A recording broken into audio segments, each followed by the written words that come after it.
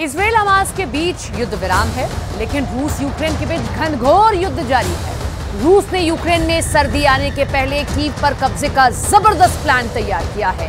अब रूस हर दिन नहीं, हर घंटे यूक्रेन पर हमले और तेज करता जाएगा। पुतिन को इसराइल से एक ऐसी रिपोर्ट मिली है, जिसके बाद उन्होंने दिसंबर में ही जीतने का फैसला कर लिया है।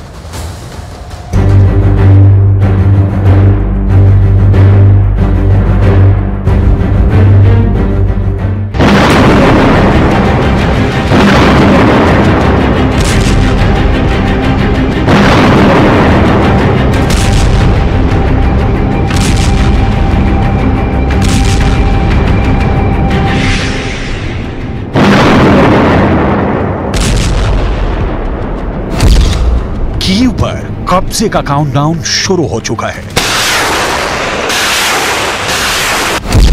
रूस की आर्मी ने अब तक का सबसे बड़ा प्लान तैयार किया है। क्रिसमस पर कीव पर कब्जे का प्लान।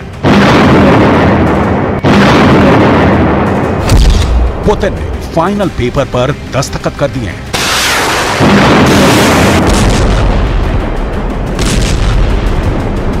पूरी दुनिया जब क्रिसमस के जश्न में डूबी होगी कीव पर रूस का झंडा लहरा रहा होगा। 24 फरवरी 2022 से जारी जंग का अंत, क्रिसमस के दिन करने का पुतिन ने पूरा मन बना लिया है। पुतिन की सेना इस वक्त यूक्रेन पर अब तक का सबसे तेज हमला कर रही है। जवाब हालाँकि यूक्रेन से भी मिल रहा है, लेकिन रफ्तार और पलटवार बेहद कमज़ोर नज़र आ रही है।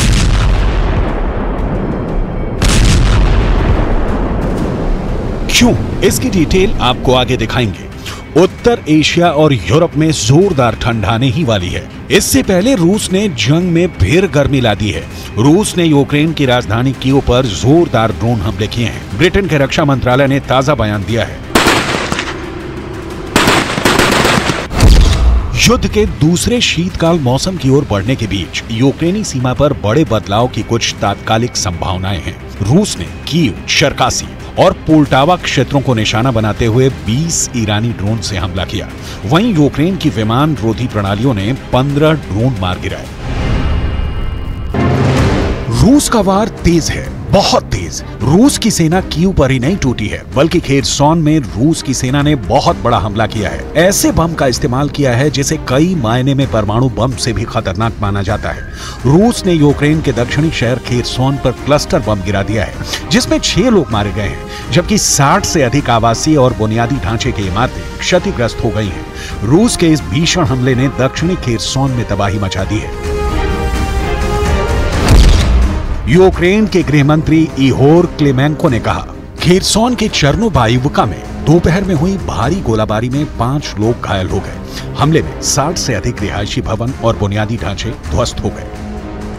इससे पहले दिन में हुए हमलों में अलग अलग क्षेत्रों में तीन लोगों की जान रूसी हमलों में गई थी। क्लस्टर बम से जुड़ी कुछ अहम बातें आपको भी ज़रूर जाननी चाहिए। क्लस्टर बम जहाँ गिराए जाते हैं, वहाँ जलजला ला देते हैं। ज़मीन को वो बंजर बना देते हैं और आबादी को वीरान कर देते हैं। क्लस्टर बम तबाही का एक ऐसा बम है, जो परमाणु तो नहीं, लेकिन एटॉमिक हथियारों से कई मायनों में कम भी नहीं। क्लस्टर का मतलब गुच्छा या किसी चीज़ का समूह होता है। ये हवा से विमान के ज़रिए ऊंचाई से गिराए जाते हैं या समुद्र से दागे जाते हैं। जब एक क्लस्टर बम फटता है तो उससे छोटे छोटे हज़ारों नए बम हवा में ही तैयार होकर बर्बादी की बारिश करने लगते हैं। बिल्कुल परमाणु बमों की तर्ज पर इनकी संख्या एक से हज़ारों होती जाती है। इनसे बहुत सारे छोटे क्लस्टर बम खुद तैयार हो जाते हैं, जो इलाके के इलाके साफ़ कर देते हैं। मीडिया रिपोर्टों में दावा किया गया है कि रूस और यूक्रेन दोनों की तरफ़ से युद्ध में क्लस्टर बमों का इस्तेमाल किया गया। ये हथियार ज़मीन पर शर्रे फैलाते हैं और लड़ाकों की तुलना में कहीं अधिक नागरिकों को नुकसान पहुंचाते हैं और मारते हैं।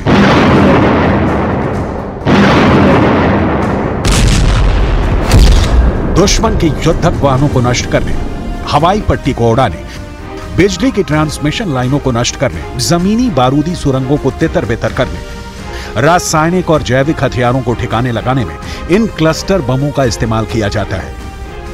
लेकिन ये पहली बार नहीं है। रूस के गोदामों में आज बहुत कम ऐसे हथियार हैं, जिसका इस्तेमाल पुतिन यूक्रेन के खिलाफ नहीं कर रहे हैं। लेकिन अब तक पुतिन के कीव विजय का सपना अधूरा है, क्योंकि इस सपने के बीच नेटो की ताकत है। नेटो के यूक्रेन को हथियार सप्लाई ने पुतिन की यूक्रेन में जीत रोक रखी है।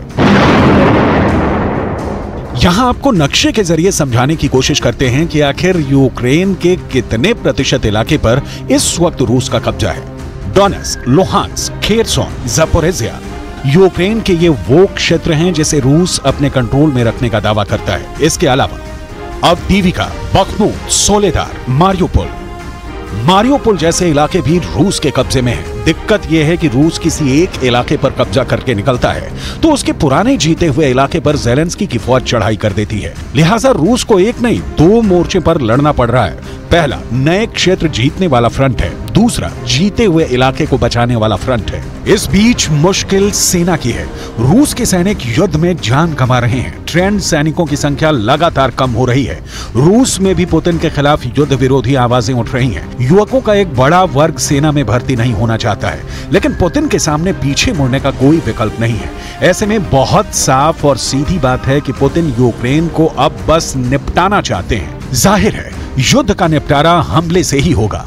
और पुतिन यही हमले दिनों रात, चौबीसों घंटे, आठों पहर लगातार कर रहे हैं। यहाँ पुतिन के 30 दिनों की मियाद में कीव पर कब्जे का प्लान समझने की कोशिश करते हैं।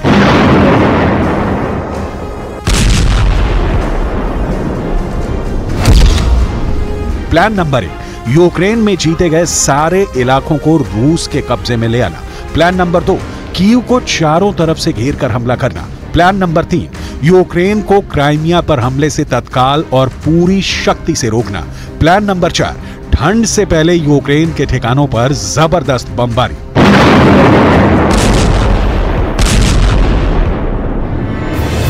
यूक्रेन में सर्दी दस्तक दे रही है और मौसम बदलते ही युद्ध में पुतिन खेला बदल देंगे। इसकी आशंका में जेलेंस्की दिन रात घोले जा रहे हैं। पिछली सर्दियों में भी यूक्रेन की सेना और नागरिकों ने भयंकर तबाही का सामना किया था। एक तो हाड़ कपा देने वाली ठंड ने मारा और बच गए तो रूस की सेना ने तोप के गोले से उड़ा दिया। इस बार सर्दी से बचने के लिए यूक्रेन के नागरिक अपने घरों के लिए मोमबत्तियाँ, बैटरी, फ्लैशलाइट और पोर्टेबल लालटेन खरीद रहे हैं। इसके अलावा कॉम्पैक्ट गैस को स्टॉक कर रहे हैं। पिछले साल रूस ने यूक्रेन के बिजली संयंत्रों पर 1200 से अधिक मिसाइलें और ड्रोन दागे थे, जिससे यूक्रेन की बिजली सप्लाई ठप सी पड़ गई थी। अमेरिका ने ऊर्जा उपकरण और यूक्रेन के बुनियादी ढांचे की सुरक्षा के लिए 522 मिलियन डॉलर आवंटित किए हैं। ठंड में जीवन की बुनियादी सुविधाएँ और जंग, दोनों के प्रति यूक्रेन के राष्ट्रपति जेलेंस्की कदम उठा रहे हैं। जेलेंस्की ने राष्ट्र के नाम एक संबोधन में कहा, हर किसी को यह सुनिश्चित करने के लिए रक्षात्मक प्रयासों में अपनी भूमिका निभानी चाहिए कि रूसी आक्रमण इन सर्दियों में यूक्रेन को रोक न दे। जैसा कि युद्ध के मैदान में होता है, वैसे ही सभी क्षेत्रों में हमें लचीला और मज़बूत होना चाहिए। रूस और यूक्रेन के जिस इलाके में जंग हो रही है, वहाँ ठंड में पारा माइनस डिग्री में चला जाता है। ऐसे में ठंड से पहले रूस ने फिर ताबड़तोड़ हमले करके अपने खतरनाक इरादे ज़ाहिर कर दिए हैं। दूसरी ओर, अमेरिका के नेतृत्व में नेटो भी सुपर एक्टिव मोड में आ गया है कि द्वितीय विश्व युद्ध में ठंड में जिस तरह हिटलर की सेना को रूसी फौज ने मात दी थी, उसी तरह यूक्रेन को सर्दी में ही सदा के लिए जीत लेना है। ज़ाहिर है, ये काम इतना आसान नहीं है, क्योंकि ये काम पुतिन पिछले एक साल आठ महीने की जंग में नहीं कर पाए हैं। यहाँ तक कि पुतिन की परमाणु बम गिराने की धमकियाँ भी कोई असर नहीं दिखा पाई। लेकिन अभी पुतिन को मौका मुफीद दिख रहा है। इसराइल हमास की जंग ने अमेरिका के लिए नया मोर्चा खोल दिया है। इसके सामने यूक्रेन, रूस की धमक फीकी पड़ गई है। लेकिन रूस की सेना अपना काम बखूबी कर रही है। सर्दी का सामना सिर्फ़ यूक्रेन को नहीं करना है। रूस के उन सैनिकों को भी करना है जो 24 फरवरी 2022 से जारी इस जंग को अब तक लड़ रहे हैं। लंबी जंग से उकताए रूसी सैनिकों के लिए इस बार की यूक्रेन की सर्दी भी बहुत मुश्किलों से भरी होगी। यही कारण है कि रूस की सेना ठंड से पहले ही नहीं, बल्कि 25 दिसंबर यानी क्रिसमस डे को युद्ध का द एंड करने के इरादे के साथ चल रही है।